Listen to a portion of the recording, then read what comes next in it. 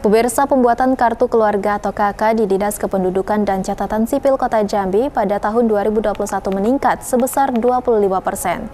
Kepala Dinas Dukcapil Kota Jambi menjelaskan kenaikan pembuatan KK ini didominasi oleh update data untuk program penerimaan bantuan sosial dari kementerian. Berdasarkan data pada tahun 2021, pembuatan kartu keluarga atau KK di wilayah Kota Jambi meningkat Hal ini disebutkan langsung oleh Kepala Dinas Kependudukan dan Catatan Sipil Kota Jambi Nirwan Ilyas. Meningkatnya pembuatan KK di Kota Jambi ini didominasi karena update data KK yang digunakan sebagai salah satu syarat penerimaan bantuan sosial dan sebagian lagi dikarenakan pernikahan atau pembuatan KK baru dan domisili atau pindah tempat tinggal. Nirwan juga menjelaskan pada tahun sebelumnya pembuatan KK perharinya berkisar 30 hingga 60 orang per hari, namun saat ini meningkat menjadi 100 hingga 400 orang per hari. Meningkatnya pembuatan KK ini juga dikarenakan masyarakat dapat mendaftar melalui aplikasi atau secara online, sehingga proses administrasi menjadi lebih mudah dan dapat dilakukan dari rumah.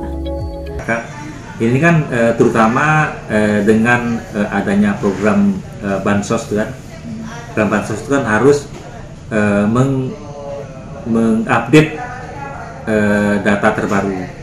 Data terbaru uh, anggota keluarga terbaru jadi itu otomatis masyarakat uh, antusias uh, datang ke kantor bersama kakak.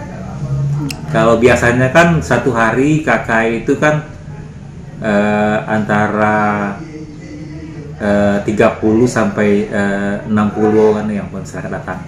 Kalau sekarang itu uh, sebelum kami sebelum kami apa nih sebelum kami uh, aplikasi ini sampai seratusan gitu yang kita kan seratus uh, sehari yang ngurus. Itu jadi seratus ya yang apa nih yang datang seratus yang pakai WA jadi 200 nah, sekarang menjadi lebih. Jadi lebih.